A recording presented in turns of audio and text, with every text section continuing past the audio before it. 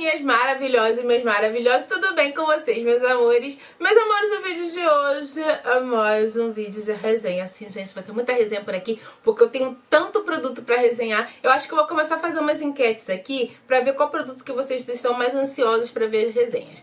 A resenha de hoje, meus amores, vai ser desse produto lindo, maravilhoso, que é o BT Powder Banana da Bruna Tavares. Sim, gente, é o pó banana da Bruna Tavares. Ele é um pó banana compacto.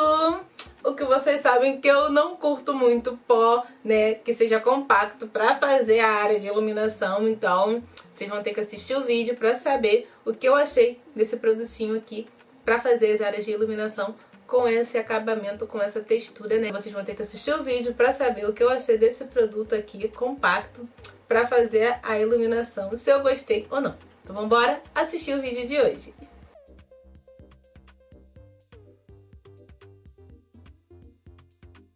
Meus amores, eu vou começar já o vídeo dando aquele close do produto, né, que eu gosto de mostrar bem de pertinho. A embalagem do produto é assim, gente, redondinha, tá? É, esse produto aqui, gente, contém 11 gramas, tá? E ele é assim, ó, você levanta ele, aqui, ó, ele é compacto e aqui tem um espelhinho, tá vendo, ó? Achei um ponto positivo já esse espelhinho, porque eu gosto de produto que tem espelhinho. Aqui, gente, ele tinha aquela logo do espelho, mas com tudo que você vai usando, vai saindo. Ele é um tom de amarelinho bem clarinho, tá, gente? Ele não é um tom de amarelo escuro. Não sei se vocês estão conseguindo perceber em vídeo, mas ele é um tom de amarelo bem clarinho. Aqui atrás no produto, aqui embaixo, você tem a, o lote, né? E o prazo de validade do produto. Tem essa embalagem linda, que é a embalagem dos produtos da Bruna Tavares, né? A Bruna Tavares arrasa nas embalagens, embora ele seja um pó que não tem como você ver a tonalidade dele. Então, se não tiver um produto de mostruário, você fica meio que sem saber qual é a tonalidade do amarelo. Mas isso é meio que normal. Mas é, eu tava pensando aqui que talvez poderia ter sido, ó, com essa embalagem aqui, ó, tá vendo? Que é transparente a tampa que você consegue ver a tonalidade do produto, tá vendo, ó? Esse daqui não, ele é todo azul, então você só vai saber a tonalidade do produto quando você abre. Esse produto, gente, ele é daquela linha, né, BT Pounder, né, que tem outros pós, né, com cor, e esse daqui é o pó banana, que é amarelinho.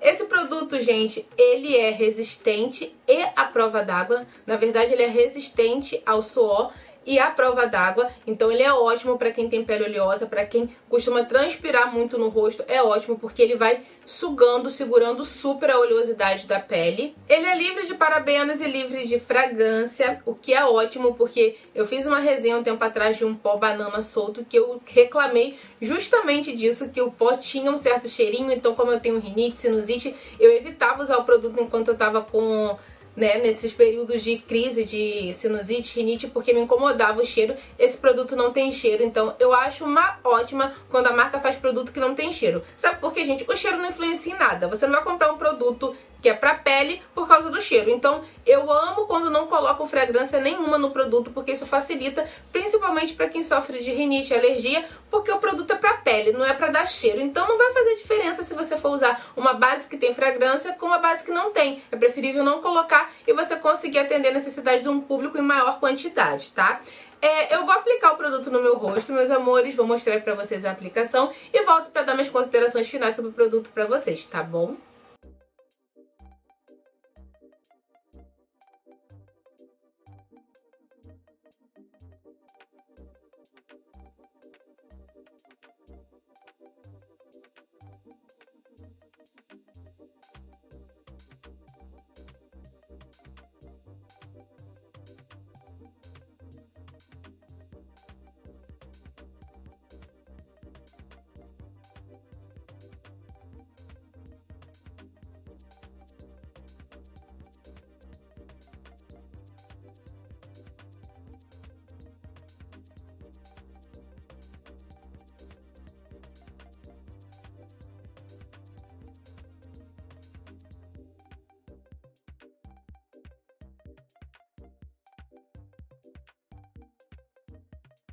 Gente, ó, eu já apliquei o pó, tá vendo? Tô deixando ele descansar um pouquinho.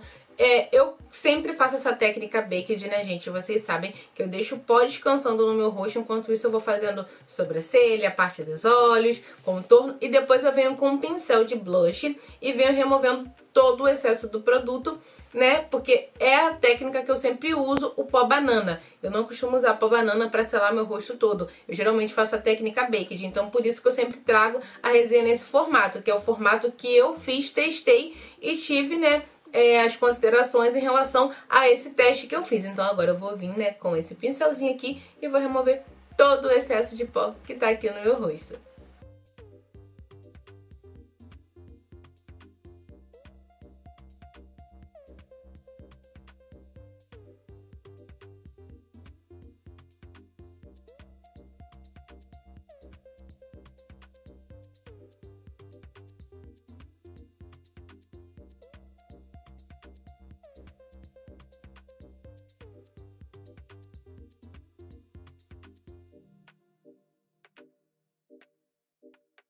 Bom, meus amores, como vocês viram aí, né, gente? Eu só tirei o excesso do pó, coloquei um gloss, máscara de cílios e vou dar minhas considerações finais do produto pra vocês.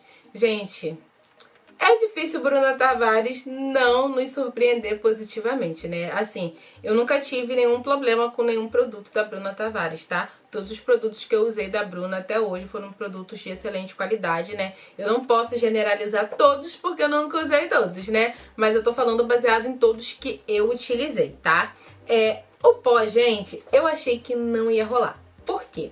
Não é qualquer pó compacto, tá? Fique bem frisado isso. Eu sempre falo isso pra vocês, vocês sempre me perguntam, Francine, mas pra fazer a técnica Baked é só o pó solto? Eu sempre falo pra vocês, gente, eu sempre priorizo o uso do pó solto na hora de fazer a técnica Baked, principalmente em pele negra, porque o pó compacto, ele tem tendência a carimbar. Geralmente quando a gente faz a técnica Baked com um pó compacto, se a gente não tiver uma certa prática, né, uma certa manha em estar tá fazendo essa técnica, quando você coloca pó, se você não souber dosar a quantidade de pó que você coloca, fica carimbado e quando você vem com o pincel para tirar o excesso, minha amiga, fica completamente marcado certinho onde você coloca o pó, estoura no flash. Então, eu geralmente quase nunca faço a técnica Baked usando pó compacto. Eu geralmente uso pó solto. Só tinha um pó compacto que eu usava que funcionava muito pra mim, que era o pó compacto da cor B da Luisance. Eu nem sei se fabrica ainda, porque confesso pra vocês que depois que foram lançando os pós soltos, né, eu comecei a testar os pós soltos, então acabei não comprando mais o pó compacto na cor B da Luisance, mas ele era um pó compacto que funcionava muito pra mim pra fazer a técnica Baked. Porém, eu tentei com vários outros e não rolava, ficava carimbado, ficava marcado. E esse pó da Bruna Tavares me surpreendeu muito, porque embora ele seja um pó compacto, ó, como vocês podem ver, ele tem, ó, uma textura muito fina, minha amiga, muito fina, ó. Sumiu, ó. Vou passar aqui, tá vendo? Ó, tá aqui no meu dedo, ó. E quando eu espalho, ó, cadê? O pó some na sua mão. Isso significa que mesmo ele sendo compacto, ele tem uma textura muito fina. Então o que acontece? Quando você coloca ele no seu rosto, ele não carimba. Você consegue tirar o excesso dele, porque ele tem essa textura fininha. Ele vem no compartimento compacto, mas a textura dele é fina. Então você coloca e você tem facilidade na hora de tirar o excesso. Porque geralmente o pó compacto ele tem uma textura um pouquinho mais grossa, um pouquinho mais pesada. Então quando você carimba ali, quando você vai tirar o excesso, você não consegue tirar com facilidade. E esse pó da Bruna não, ele é super fininho, a textura dele, ó, é bem aveludado, ó. Eu tô passando a mão aqui assim, gente, o dedo aqui, ele é super aveludado. E, gente, pra quem não sabe, esse produto é a prova d'água, tá? Tem vários vídeos aí, né? É, eu até ia fazer aqui com vocês, mas o meu borrifador quebrou. De que colocam a água no pó e a água fica, ó, dançando no pó. Ele é um produto à prova d'água, então ele sela bem ele fica, ó, com essa textura bem aveludada na pele. A minha pele tá super aveludada super sequinha, super mate, do jeitinho que eu gosto. A textura dele é bem fininha, é um ponto super positivo. Ele tem essa textura mais aveludada, você colocando a mão no produto, você sente que ele é bem aveludado.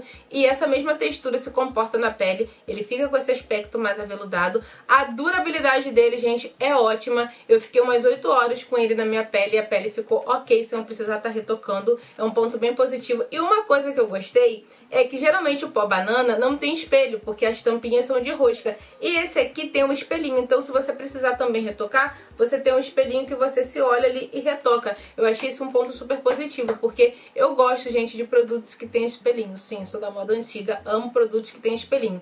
O contorno da Bruna, por exemplo, ó, não tem o espelhinho, tá vendo? E já esse pó banana tem. Então eu já gostei muito disso, de ter esse espelhinho aqui, porque se você precisar retocar alguma coisa, você tem como tá se olhando e retocando. Pra mim, meus amores, o produto tá super aprovado. Ele não acumulou nas minhas linhas de expressões, o que é um ponto super positivo. Ele tem uma textura fina, você consegue remover o excesso dele com facilidade. É super simples de usar. Como todos os outros produtos da Bruna que eu já usei, né, gente? A qualidade é impecável, a embalagem é linda. Pra mim tá super aprovado. É, eu espero que vocês tenham gostado do vídeo de hoje. Se vocês gostaram desse vídeo, deixa seu like aqui. Deixa aqui abaixo nos comentários pra eu ter esse feedback de vocês, saber se vocês estão gostando desse conteúdo que eu tô trazendo com mais resenhas aqui pro canal ou não. Um beijo, meus amores. Até o nosso próximo vídeo.